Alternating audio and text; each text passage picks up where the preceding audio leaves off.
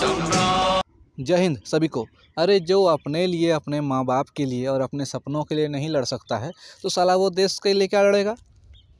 हैं? झुट्टो का खाली नाटक। तो जिसको जिसको लगता है कि दिल्ली जाने से कोई फ़ायदा नहीं होगा, वो अभी वीडियो छोड़ के निकल जाए और चैनल को भी। हमको किसी का कोई आवश्यकता नहीं है। शॉर्ट में यही बात समझिए कि नेक्स्ट बार अभी जो भर्ती आने वाला है, चालीस हज़ार के आसपास भर्ती आएगा, उसमें कोई गारंटी नहीं है, दस परसेंट भी गारंटी नहीं है कि आप लोग सिलेक्शन ले पाइएगा। क्योंकि नया भीड़ देख लीजिए और आप लोग यहाँ तक पहुँच के गिरे हैं नीचे, जिसको झटका लगा है वो ज़रूर जाएगा। ठीक है? फिर हम यही बात बोलते हैं कि जो सलाह अपने हक के लिए नहीं लड़ेगा, वो देश के लिए क्या लड़ेगा? कुछ नहीं हो सकता ऐसे आदमी का। आप जान रहे हैं कि बहुत सारे स्टूडेंट यहाँ तक कि फीमेल कैंडिडेट उतने उतने दूर से महाराष्ट्र, बंगाल, कहाँ कहाँ से आके अभी जो है दिल्ली में प्रदर्शन कर रहे हैं, आज उनका कितना महीना हो गया ठीक है? आपको क्या लगता है कि सरकार तक बात नहीं पहुँच रही है? सब पहुँच रहा है। आपको ये लगता है ना कि सब कोई शांत बैठा है? ऐसा नहीं है। जब तक अधिक से अधिक भीड़ नहीं होगा। अच्छा पूनम पंडित जी ने क्या कहा? आप सुने थे उनका? सुनिएगा कभी। उन्होंने कहा कि देखिए, आप लोग भीड़ जुटाइए। बिना भीड़ जुटाए कुछ नहीं होगा। और यही तो है हमारा भारत देश। एक दूसरे के पीठ पर रख के बंदूक चलाना। अरे साला, सब कोई अपने अपने लिए जाओ ना जी। ये सोच के जाओ कि हम जाएँगे तो हमको लाभ होगा। कभी आज तक कोई मेहनत करवे नहीं करता, सोचता है दूसरे करेगा, हमको लाभ हो जाएगा। वैसे थोड़ा होता है। देखिए, शॉर्ट में यही बात समझिए। मेरा कहने का मतलब है कि अभी आप लोग जान रहे हैं कि एक तारीख से लेकर के, एक अप्रैल से लेकर के, सात अप्रैल तक कुछ विशेष रूप से विरोध प्रदर्शन होने वाला है दिल्ली में एस एस को लेकर के। जिसमें बहुत सारे कैंडिडेट वहाँ महीनों से हैं और रह रहे हैं। उनको क्या दर्द नहीं है?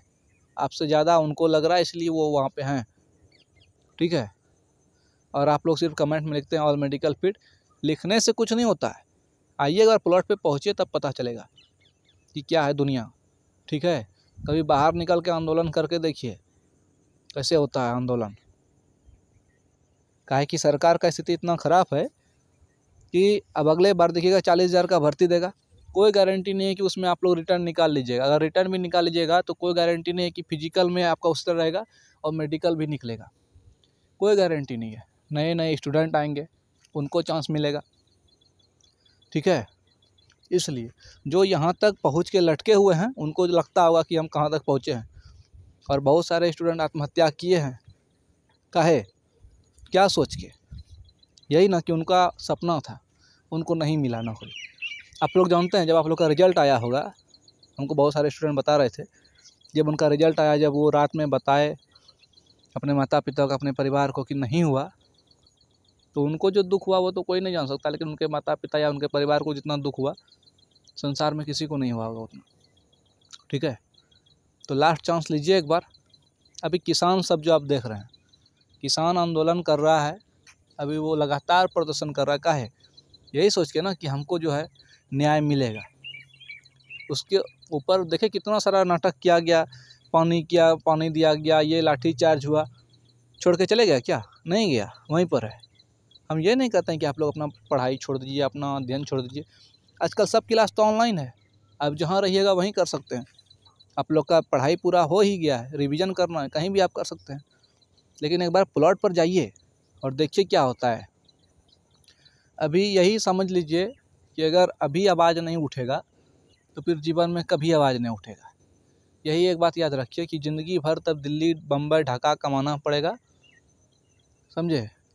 और आप लोग देखते होंगे कि गाँव देहात में बहुत सारे छोटे उम्र में आदमी निकल गए थे काम करने के लिए। उसी में आप शामिल हो जाइएगा। बाकी कोई उपाय नहीं है। कोई उपाय नहीं है। सरकारी नौकरी छोड़िए, ये आप लोग का जो सपना था फौज में जाने का, वो कभी पूरा नहीं हो सकता है। और बोलता है ना कोई कि बाबू कंपटीशन कंपटीशन से हमको क्या मतलब है? हमको एक सीट लेना है। वो ज़माना अब नहीं रहा। वो बूढ़े बुज़ुर्ग अभी भी बोलते हैं, लेकिन उनको बोलिए कि कंपटीशन में बैठ के दिखाओ। जो 2014 में ग्रुप डी निकाला था ना, उसको बोलिए कि अभी ऑनलाइन एग्ज़ाम में बैठो और हमको तीस नंबर ला के दिखा दो। ठीक है? तो अब दुनिया बदल गया है। आप जान रहे हैं कि मोदी जी हमारे बहुत सुंदर लड़के हैं। वो बोल रहे थे कि देश बदल रहा है। सही में देश बदल गया, आत्मनिर्भर तो सबको बना ही दिया साला। तो देखिए, कुल मिलाकर यही ये बात हम बोलना चाहते हैं कि आप लोग अगर तैयार हैं तो बहुत सारी ट्रेन है।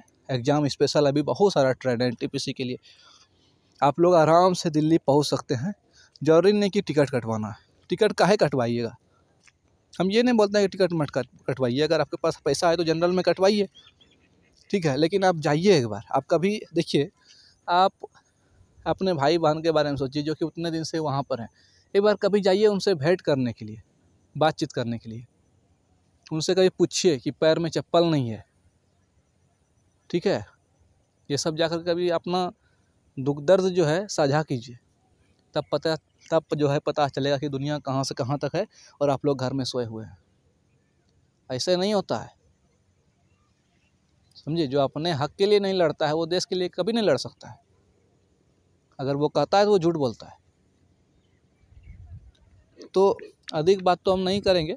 मेरा यही कहने का, वीडियो बनाने का मेन उद्देश्य मेरा यही है जितने भी 2018 कैंडिडेट हैं, जिसके साथ हम बहुत दिन से जुड़े रहे आज तीन साल हो गया। सबका दुख दर्द हम समझ रहे थे उतने दिन से और अभी भी समझ रहे हैं। हम समझते हैं कि उनके ऊपर क्या बीत रहा है और कैसा झटका उनको लगा है इस बार। समझे बात को? और ऐसा बात नहीं कि सरकार को ये सब पता नहीं है, लेकिन सरकार जानते हुए भी अनदेखा कर रही है। कारण है कि सरकार संभालिए नहीं पाएगी। सरकार तो खाली दिखावा है। समझे? खाली डायलॉग बाजी मेरे यहाँ युवा इतना है, हम युवा को ये रोज़गार देंगे बार देंगे, कुछ नहीं देंगे। तो ये गुस्सा लगता है तो बहुत कुछ मन से निकलता है, मुँह से भी निकलता है। बोलना नहीं चाहिए। प्रधानमंत्री जी अभी हमारे हैं। लेकिन अगर युवा चाह ले तो कुछ भी हो सकता है। लेकिन घटना ये हो गया, साला की गलती से जीत गया, भाजपा और बार बार हम लोग मोदी जी का दाढ़ी उड़ी देख के जो है जिता दिया उनको, समझे? लेकिन अगला बार ये गलती मत कीजिए, हम भी भाजपा का बहुत बड़ा सपोर्टर थे।